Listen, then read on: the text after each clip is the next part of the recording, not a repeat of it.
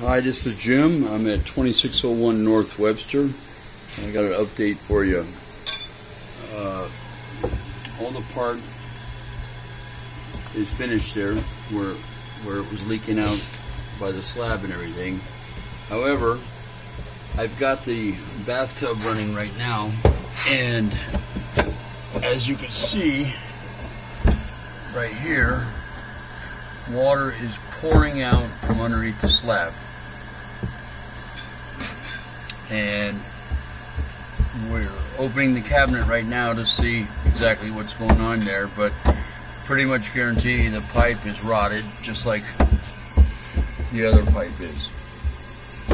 Now what this place really needs is new piping going from the bathtub all the way out to the main clean out um, the part that that I was fixing is all you can see it's all fixed and that part will be fine. And we, we, we're gonna have to we don't have a choice really. We're gonna have to fix this side for sure. Um, because the water is pouring out from underneath the slab.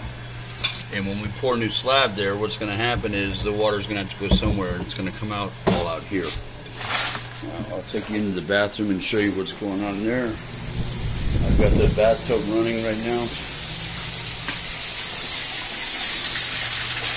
As fast as it's coming out of the bathtub here, it's flowing out underneath the slab. Right here, where the drain itself is, you can see the grill is broken out of it, but there's no visible hole right there in the drain.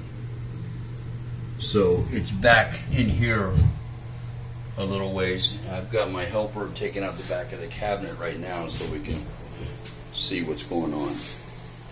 Uh, as soon as I find out, I will send you a video of what's going on.